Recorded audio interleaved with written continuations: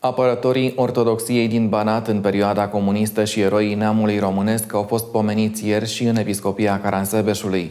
La crucea monument de pe dealul Domașnei, ceremonia a reunit preoți, autorități civile și militare și numeroși credincioși.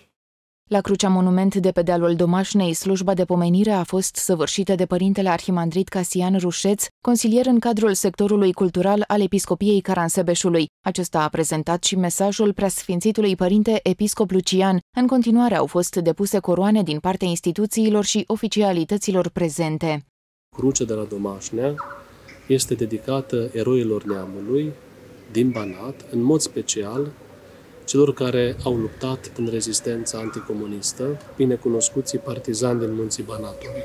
De aceea noi facem această pomenire pentru ei, dar pentru toți eroii, însă această pomenire pune pe noi o responsabilitate foarte mare. De ce spun o responsabilitate mare? Pentru că acești partizani, în cinstea cărora în mod predilect s-a închinat această cruce, au luptat pentru valori. Este important să le împărtășim și noi astăzi. Valori care țin de morala creștină, care țin de libertate, care țin de adevăr, care țin de democrație, care țin de posibilitatea de a ne spune punctul de vedere și de a-l asuma într-o societate care are nevoie de demnitate.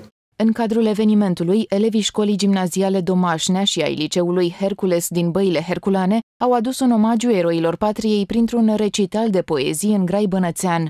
Eroii n-au mai apucat să plângă, s-au închinat cu mâna stângă. În dreapta țineau dragostea de țară, au apucat doar să se închine și să moară.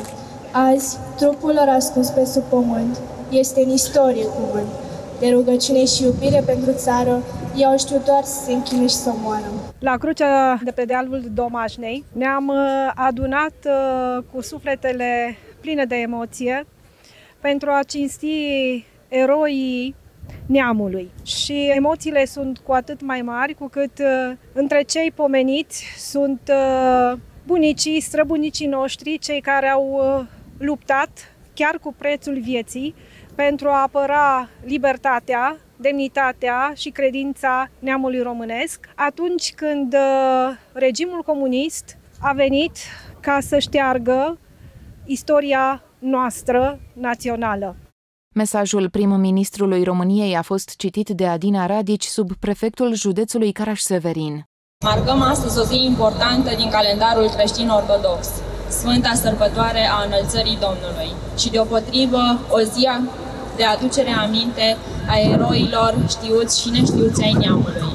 Prin jertfa lor au scris istorie și au deschis drumurile către împlinirea aspirațiilor de libertate, demnitate și prosperitate ale neamului român. Ne închinăm cu profund respect în fața lor.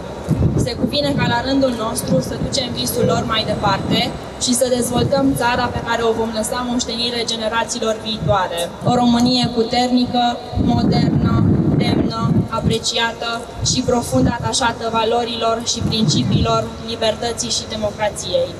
Avem această responsabilitate. Ceremonia s-a încheiat cu defilarea gărzii de onoare a brigăzii 18 Cercetare Supraveghere Decebal din Timișoara.